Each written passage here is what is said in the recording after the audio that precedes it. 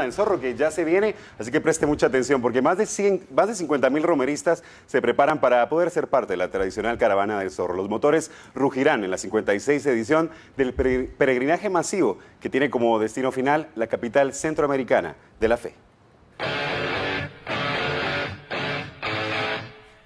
Rugen los motores.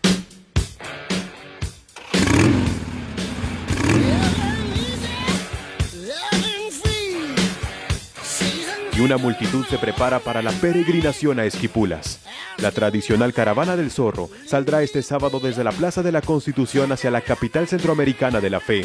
Los protocolos de seguridad se han fortalecido y la logística del evento, que incluye además de la vigilancia, áreas de descanso y asistencia vial, ya está lista para atender a los motoristas que participen.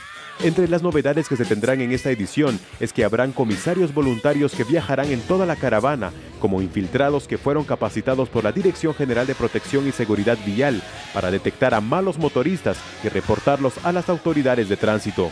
Desde las 18 horas de este viernes, la Conred activó una alerta amarilla que finalizará con un recuento de accidentes el domingo a las 18 horas. Los organizadores recuerdan la importancia del uso del casco protector, equipo de prevención como rodilleras, coderas y chumpa de cuero.